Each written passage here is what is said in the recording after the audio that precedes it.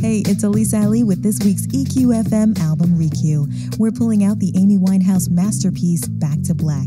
Released in 2006, the album paved the way for a neo soul revival movement.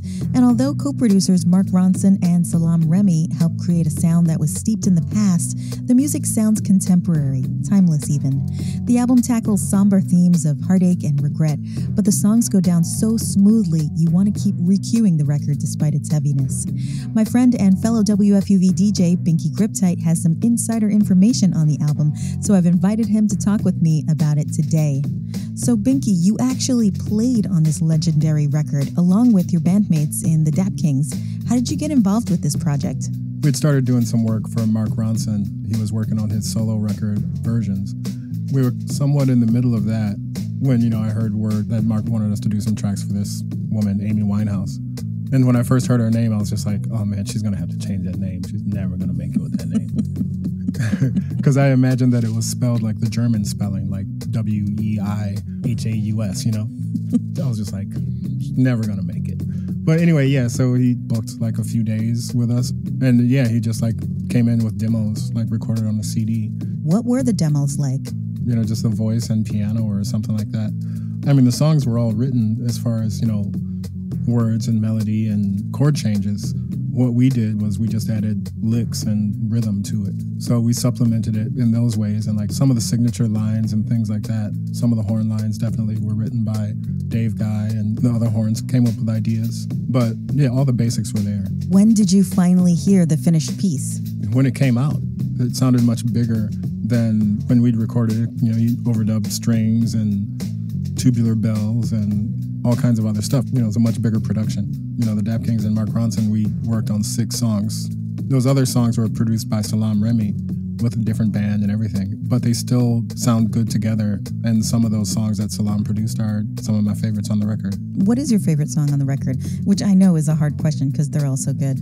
It is. And yeah, there's so many good songs, but I, I do really like Some Unholy War the chords and the melody. I mean, it's just really beautiful song. That's one of my favorite songs too. There's a longing in her voice on that one that is so affecting.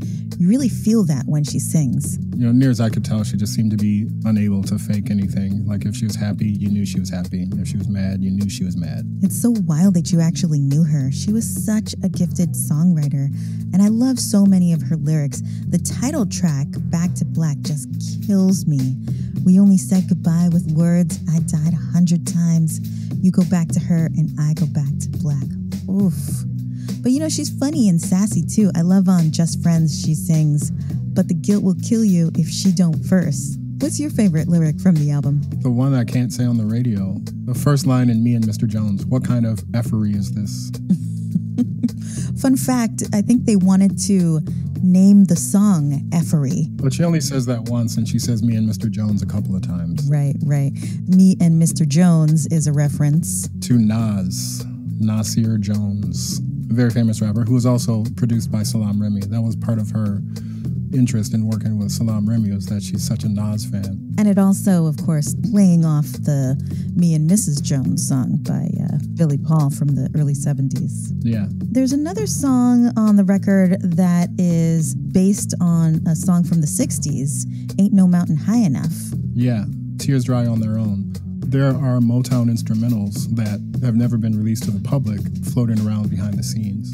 And I would assume that she just wrote this song on top of one of those instrumentals for Ain't No Mountain High Enough because the song is exactly the same chord progression and vibe and everything.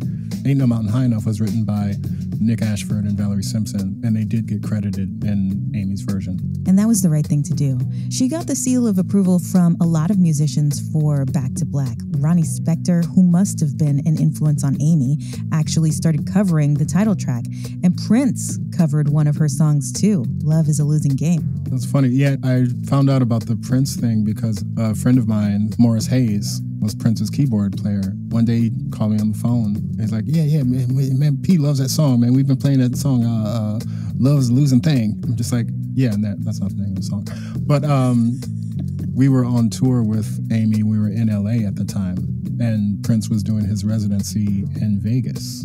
And so he asked if it was possible for us to make a little side trip and just go to Vegas and open for Prince. And Amy wanted to do it, but it just schedule just wouldn't allow. So that never happened. That would have been so epic. Yeah. All right, Binky, it's time now for the EQFM 6. Can you describe this album's sound or impact in six words? Tough, honest, unapologetic, and 100% Amy Winehouse. Binky Griptite talking Amy Winehouse on this week's EQFM album Reque.